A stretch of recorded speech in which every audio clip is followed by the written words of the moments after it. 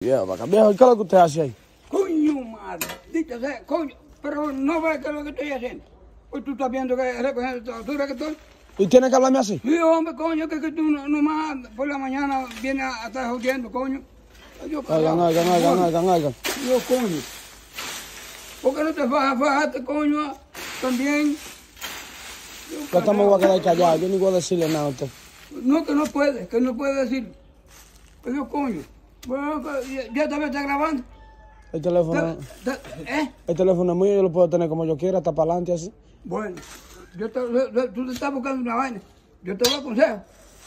Así es que deja la grabadera para que vivamos bien. Y si no, tú vas a tener que irte por de- con tu familia porque tú no eres hijo mío. Ah, pero- eh, simplemente eres nieto, pero.